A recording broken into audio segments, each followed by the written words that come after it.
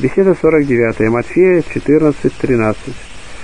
«И, услышав, Иисус удалился оттуда на лодке в пустынное место один, а народ, услышав о том, пошел за ним из городов пешком».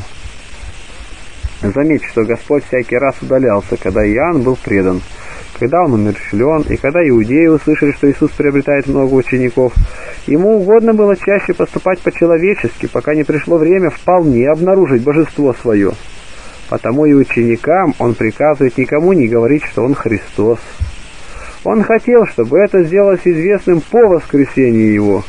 По этой причине и с иудеев, которые до то ли не веровали в него, не строго взыскивал, а напротив извинял их, удаляется же не в город, но в пустыне, и притом на корабле, чтобы никто не следовал за ним не оставь без замечания и того, что ученики Иоаннова теперь уже ближе стали к Иисусу. Они именно уведомили его о случившемся с Иоанном, и, оставив все, делается его учениками. Так, кроме несчастья, немало исправило их и то, что Иисус внушил уже им о себе своим ответом. Но почему Господь не удалился до получения от них известия, хотя знал о случившемся и без уведомления? Для того, чтобы во всем показать действительность воплощения. Не видом только, но и самыми делами он хотел уверить в истинности их, потому что знал злобную хитрость дьявола, который готов все сделать, только бы истребить в людях мысль о его воплощении. Вот по каким причинам удаляется Христос. Но привязанный к нему народ не оставляет его, а следует за ним, и происшествие с Иоанном не устрашало его. Такова привязанность, такова любовь. Так она все побеждает и устраняет трудности. За это-то народ и получил вскоре награду. И вышед Иисус увидел множество людей и жалился над ними, и исцелил больных их. Хотя ревность их была велика, но благодеяния Христова превышали цену всякого усердия. Потому евангелисты причиной исцеления в данном случае поставляют особенную милость. Христос всех исцеляет и не спрашивает здесь о вере, потому что исцеленные показывают свою веру уже тем самым, что пришли к Иисусу, оставили города, тщательно искали Его и не оставляли, когда даже принуждал их к тому голод. Христос намеревался дать им пищу но сам не начинает этого, ожидает, пока обратятся к нему с просьбой. Всюду, как я уже говорил, наблюдая правила, не прежде приступать к совершению чуда, как по просьбе.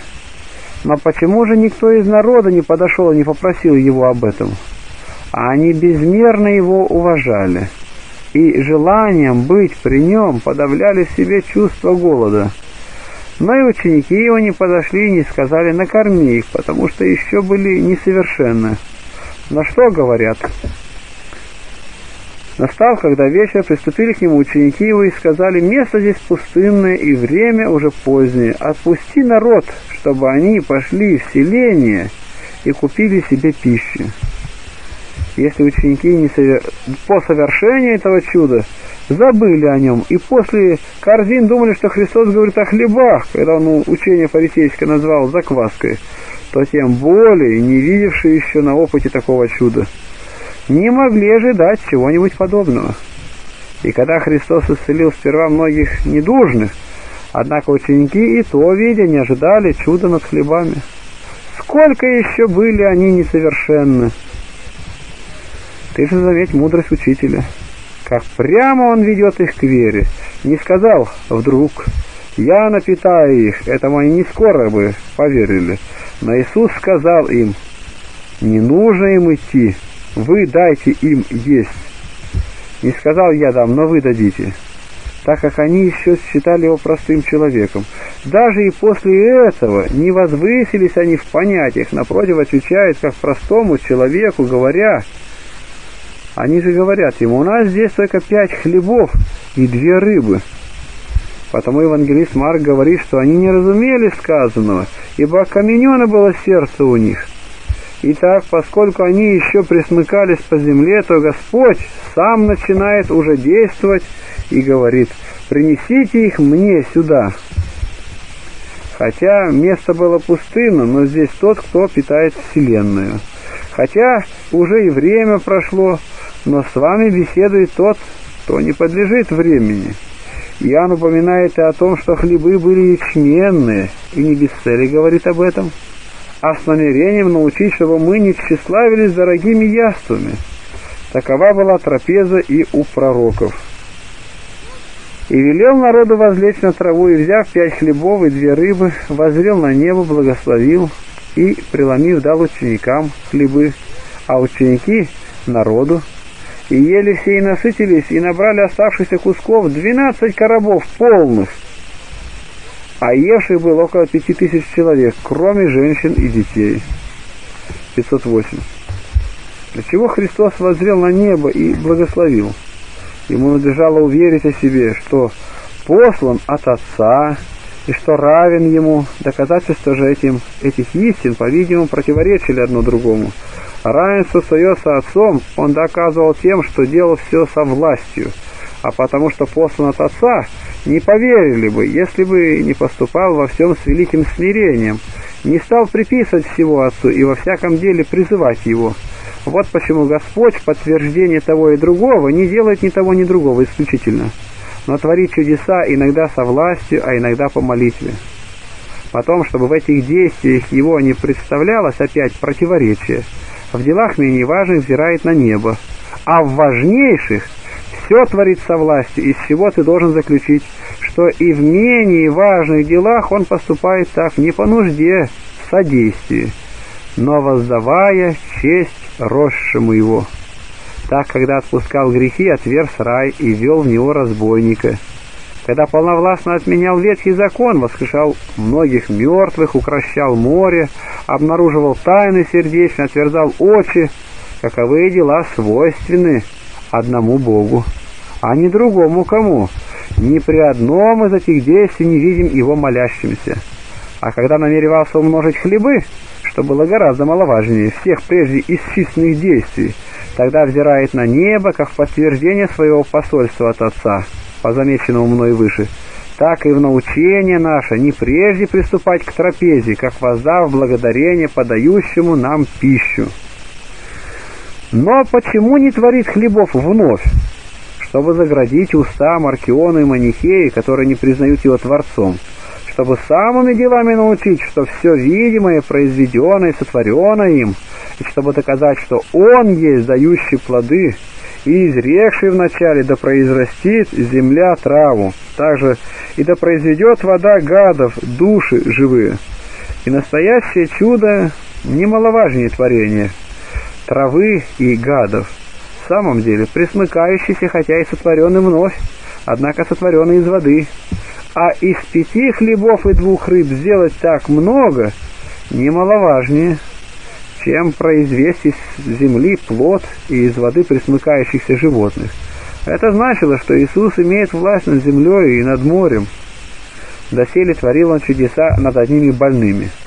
А теперь оказывает всеобщее благодеяние, чтобы народ не оставался простым зрителем того, что происходило с другими, но сам получил дар – и что иудеям во время странствования по пустыне казалось чудным, так как они говорили, «Разве он может дать нам хлеб или приготовить трапезу в пустыне?» То самое Господь показал на деле.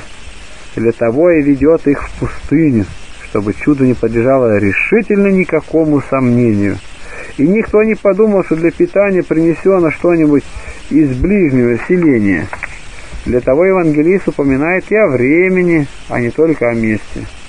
Отсюда научаемся и другому, именно познаем умеренность учеников в удовлетворении необходимых потребностей, и то, как мало заботились они о пище. Их было двенадцать человек, и они имели при себе только пять хлебов и две рыбы. Столь мало родили они о плотском, а занимались только духовным. Да и этим немногих хлебов не стали удерживать, а их отдали, как скоро попросили у них. Отсюда должны мы научиться, что хотя имеем у себя и малость, и то обязаны отдавать нуждающимся. Когда им велено принести пять хлебов, они не говорят, что же будем есть сами, чем утолим свой голод, но тотчас повинуются. Кроме сказанного, по, по моему мнению, Христос и для того не творит вновь хлебов, чтобы привести учеников к вере. Они были еще весьма слабы, потому взирает и на небо. Они видели неоднократно примеры других чудес, а такого чуда еще не видали. И так, взяв, преломил и раздавал ученик через учеников, делая им через это честь. Впрочем, он сделал это не столько для чести их, сколько для того, чтобы когда совершится чудо, они не остались в неверии и не забыли о бывшем, когда собственные их руки будут свидетельствовать о том. Для той же цели и народу дает сперва испытать чувство голода.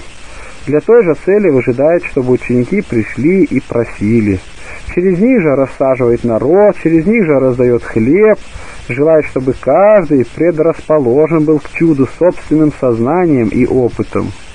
По той же причине берет и хлебы от учеников, чтобы много было свидетельств о случившемся, и памятнее сделалось для них чудо. Если при всем том забыли они то, что вышло, что бы вышло, когда бы не приняты были такие меры? Господь повелевает возлечь на траве, научая тем народ простоте жизни – Хотел не тело только напитать, но и душу научить. 510.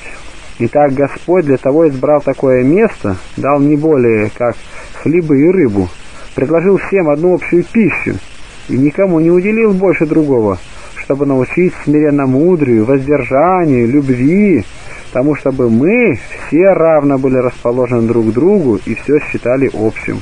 И преломив, раздал ученикам, а ученики народу. Пять хлебов преломил и раздал, и эти пять хлебов в руках учеников не истощались, но и тем чудо еще не ограничилось. Господь сделал, что оказался избыток, и избыток не в цельных хлебах, а в кусках, чтобы показать, что это точно остатки от тех хлебов, и чтобы не находившиеся при совершении чуда могли узнать, что оно было. Для того Христос попустил народу почувствовать и голод, чтобы не принял кто чудо за мечту. Для того сделал остатков двенадцать корзин, чтобы Иуде было что нести. Господь их без хлебов мог утолить голод.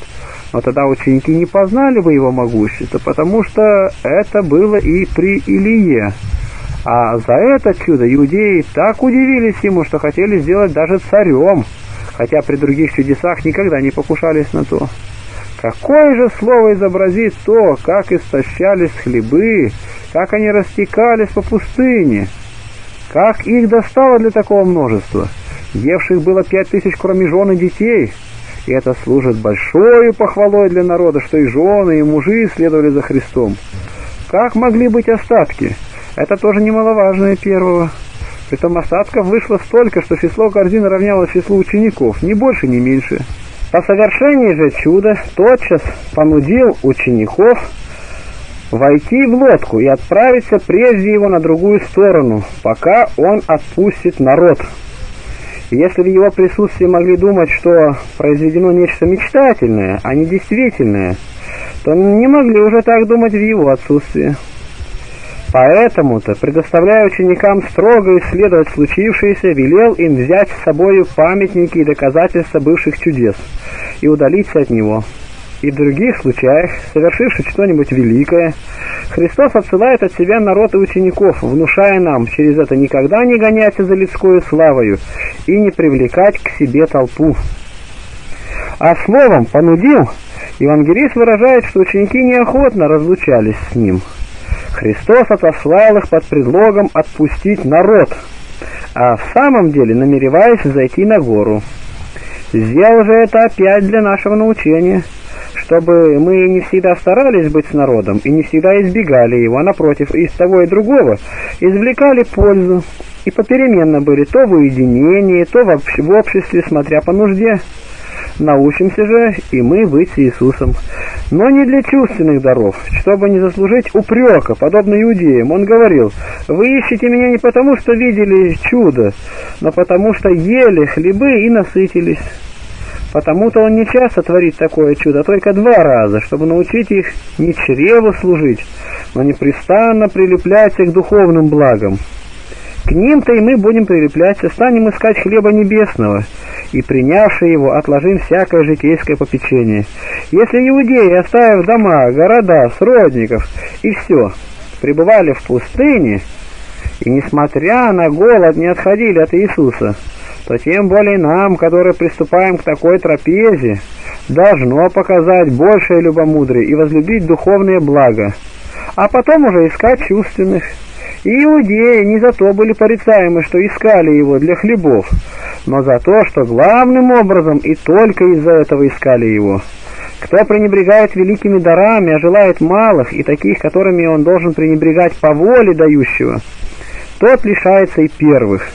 Наоборот, если любим первые, то он прилагает и последние, потому что они служат добавкой к первым. Так они малоценны и маловажны в сравнении с первыми, сколько бы ни казались сами по себе великими. Итак, не будем заботиться о благах чувственных, будем считать и приобретение, и потерю для себя делом безразличным, подобно Иову, который, обладая благами, не прилеплялся к ним, и, лишаясь, не искал их, потому они называются и благами, что мы должны употреблять их на нужды, а не потому, что должны зарывать их в землю. Как всякий художник знает свое только художество, так и богатый не умеет ни ковать, ни строить кораблей или домов, ни ткать, ни другого чего-либо подобного, а потому пусть учится употреблять свое богатство как должно, быть милосердным к неимущим, и тогда он будет знать искусство лучше всех исчисленных. И подлинно это искусство выше всех других. Для него мастерская устроена на небесах. Орудие его не железо и меч, а благость и добрая воля. Наставник в этом искусстве Христос и Отец его. Поэтому и сказано, будьте милосерды, как Отец ваш Небесный. И что удивительно, это искусство, будучи настолько всех других лучше, не требует ни труда, ни времени для занятия им. Стоит только захотеть, и все сделано. Посмотрим же, какой конец этого искусства. Итак, что бывает концом его? Небо и небесное благо, неизреченная слава, духовные чертоги, светлые светильники, обитие, обитание с женихом, и все то, чего никакое слово, никакой ум не могут представить. Так что и в этом оно много отличается от других искусств. Большая часть искусств полезна нам только в настоящей жизни, а это полезно и в будущем веке. Если же оно столько превосходит искусство, необходимое для нас, как, например, врачебное искусство, зодчество и прочее им подобное, то еще более превосходит те, которые по тщательному исследованию нельзя даже назвать и искусствами. Почему?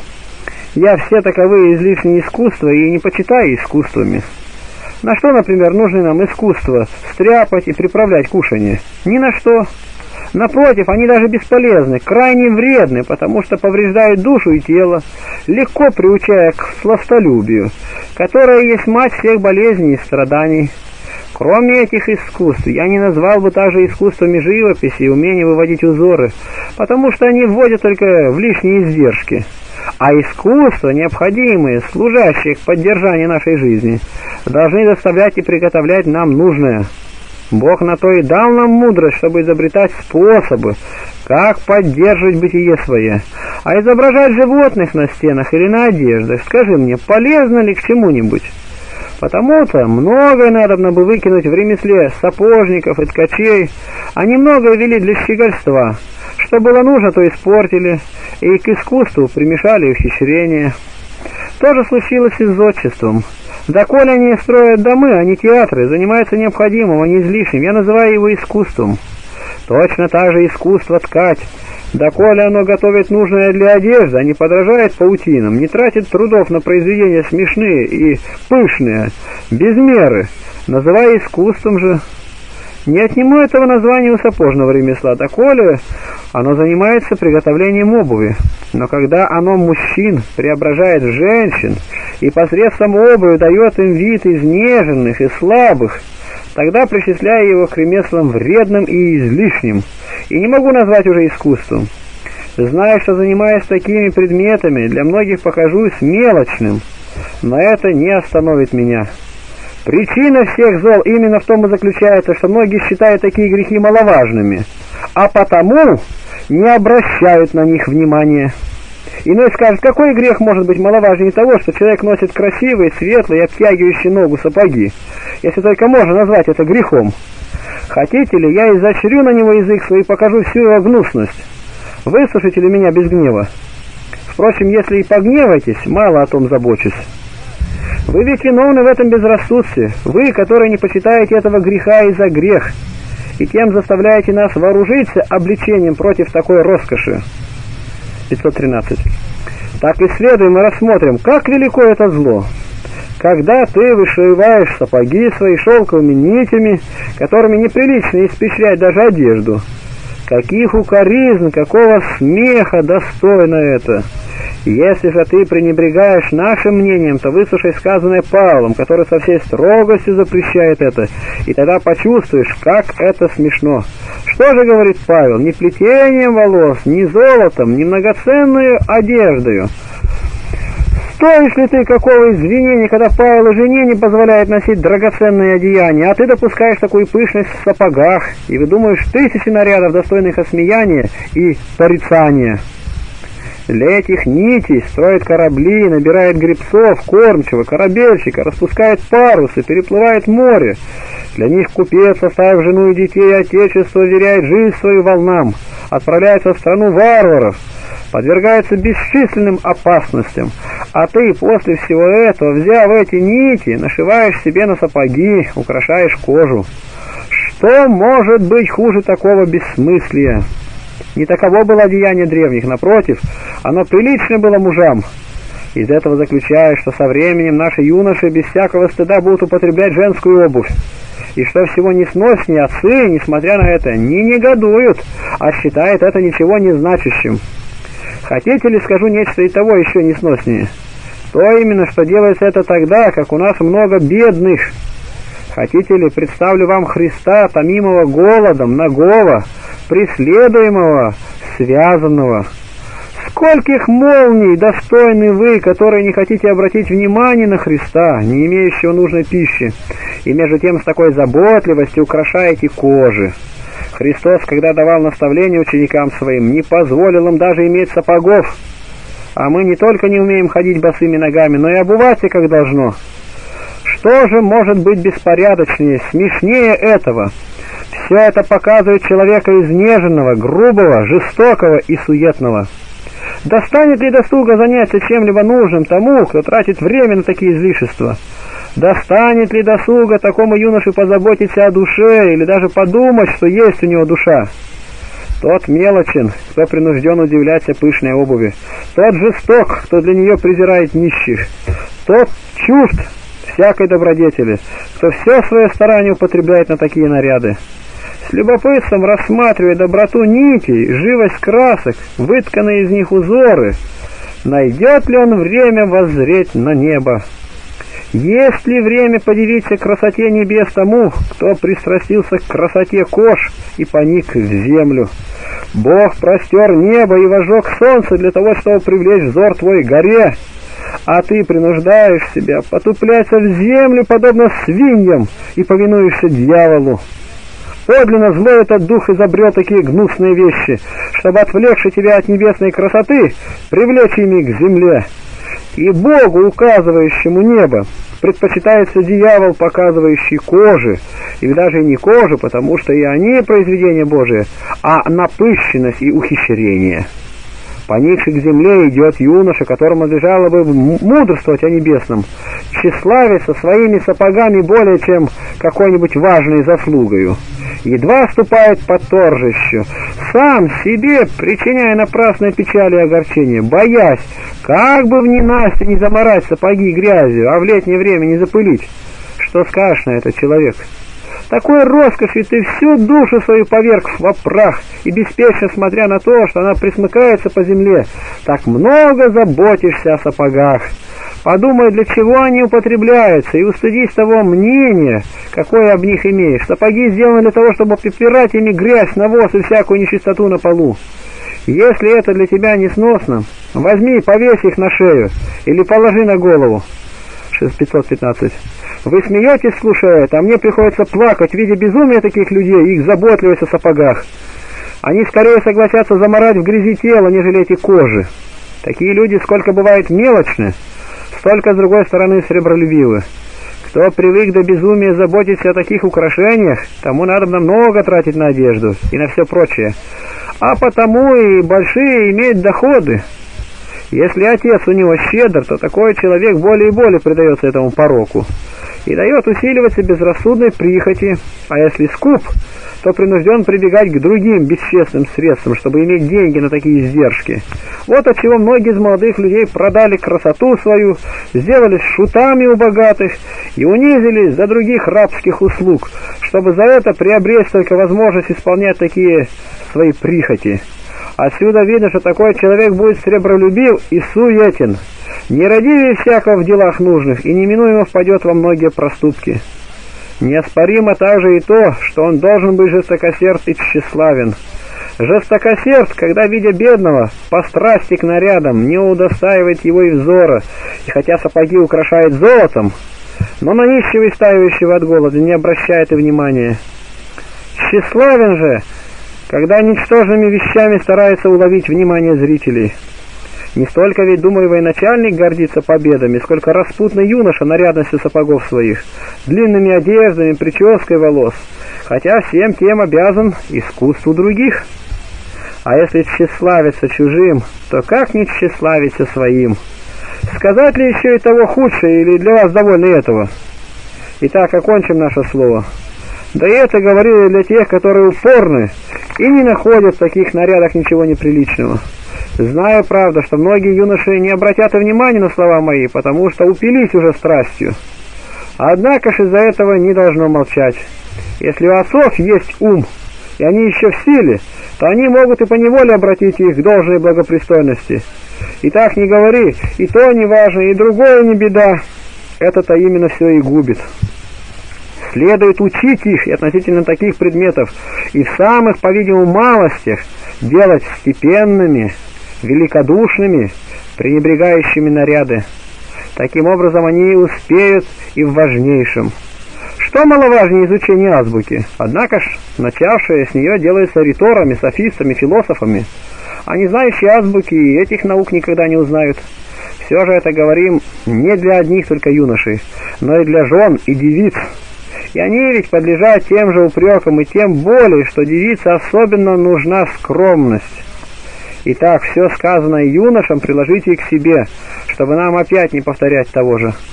Но время уже заключить слово наше молитвою. Помолитесь же вместе со мной, чтобы юноши, особенно христианские, могли жить скромно и достигнуть приличной им старости, ведь тем, которые не так живут, нехорошо дожить и до старости. Но кто в молодости живет как старик, тому желаю дожить до глубоких седин, сделаться отцом добрых детей, возвеселить своих родителей, а прежде всего Бога, его сотворившего, совершенно освободиться не только от недуга, щеголять обувью и одеждами, но и от всех душевных болезней. Какова невозделанная земля, такова и юность, оставленная в небрежении. Она произвращает много терней. Итак, пустим огонь духа, попалим злые вожделения — Обработаем нивы, приготовим их к принятию семян. Постараемся, чтобы наши юноши были целомудреннее иных стариков. То и достойно удивления, когда целомудрие блистает в юноше. Кто целомудрен в старости, тот заслуживает небольшую награду. Его самый возраст делает уже целомудренным. Чудно то, чтобы среди волнений наслаждаться тишиною, в печи не сгорать, в юности не предаваться распутству. Помышляя об этом, поревнуем блаженному Иосифу, просиявшему всеми этими добродетелями, чтобы удостоиться тех же венцов, которых это сподобимся все мы, по благодати и человеколюбию Господа нашего Иисуса Христа, с которым Отцу со Святым Духом слава, ныне и присно, и во веки веков. Аминь.